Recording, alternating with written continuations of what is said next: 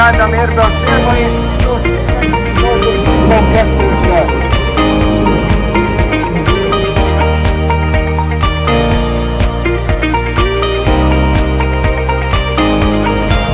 vágya volt, hogy egy hívet kört teljesíteni, és most teljesül a vágya.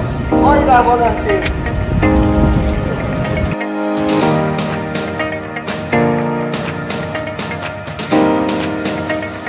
Autópályákon csak mosolygó gyilkosként emlegetik Messi a címet.